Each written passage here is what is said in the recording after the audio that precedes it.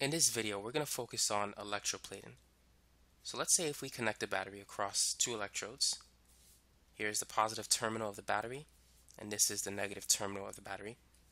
And we're going to use two copper electrodes. Now let's say we have an aqueous solution, and in a solution, there are copper ions. And let's say we have nickel ions and zinc ions. Electrons will flow from the anode to the cathode. So electrons will flow towards the positive terminal of the battery and leave the negative terminal of the battery. So on the right side, this is the anode. On the left side, this is the cathode. So oxidation occurs at the anode. So at the anode, copper metal will be oxidized. And so the copper 2 plus ions will enter the solution. Now what about at the cathode? Now at the cathode, copper can be reduced. And so this is the reduction reaction for copper. The cell potential is positive 0.34. Now cations, like this one, flow towards the cathode. So all of these cations will accelerate towards the cathode. Now here's the reduction potential for nickel. It's negative 0.23 volts. And the reduction potential for zinc is negative 0.76 volts.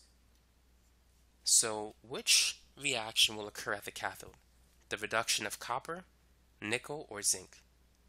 Well, it's going to be the one that's most spontaneous. So the reduction of copper at the cathode is most likely to occur because it has the highest cell potential. So this process is more spontaneous than the other ones. Now let's think about what's happening here.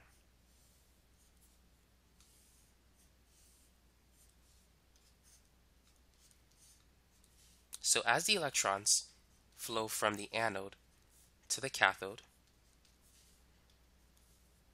The copper atoms in this copper electrode are going to enter the solution.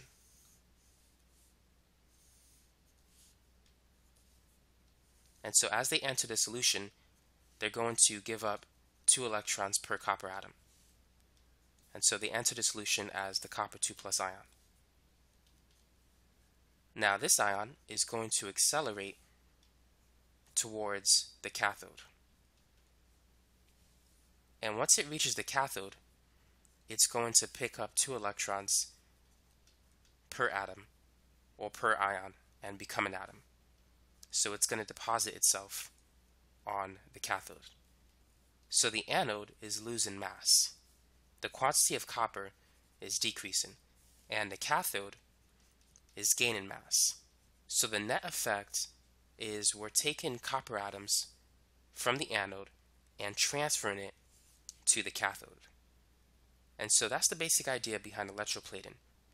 You can take the metal of one substance and deposit it on another substance. So let's say if the cathode was zinc instead of copper, we can deposit a thin film of copper on zinc.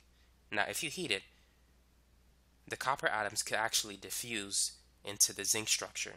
And so you can get an alloy, which is known as brass. But under cooler temperatures, you can get a thin film of copper on the surface of a zinc electrode. Now, is it possible to quantify the mass of copper that can be plated onto this electrode? Now, the mass of copper that will deposit itself on the electrode is proportional to the current that flows in a circuit and also the time in which the current is flowing. One mole of copper has a mass of 63.55 grams based on the periodic table. And based on the reduction reaction of copper,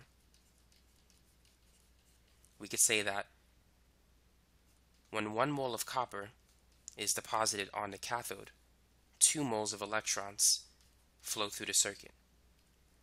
And you need to know that one mole of electrons is equal to 96,485 coulombs, according to Faraday's constant. And one coulomb is equal to a current of 1 amp that flows for a time of 1 second. Charge is equal to current multiplied by time. So if you increase the current or the rate at which charge flows through the circuit, you can increase the rate at which mass is deposited on a cathode. And if you increase the time, you can increase the quantity of copper that is deposited on the cathode. So the mass of copper is based on the current in a circuit and how long that current has been flown in a circuit. And so using these quantities, you could figure out how many grams of copper have been deposited on a cathode or how many grams of copper was lost by the anode.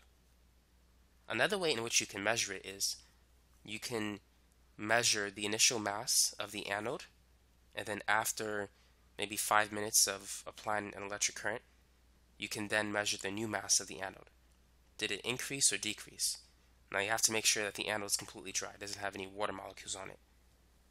But by measuring the change in mass of the anode, and let's say if you know the time in which the electricity was applied, you can actually measure the current in the circuit. Or if you know the current and the time, you can calculate the mass that was transferred to the cathode or that was lost by the anode. So there's a lot of stuff that you can do. You can relate the charge that flows in a circuit with the change in mass of these electrodes.